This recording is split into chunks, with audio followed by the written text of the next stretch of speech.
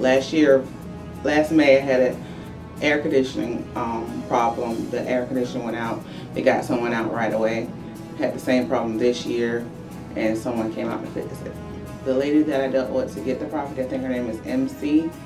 She's wonderful. I never met her face to face, but just having a conversation with her, she made me feel like I wasn't just another person she was renting to. Um, I shared a personal story with her, and she was excellent. So she did a great job.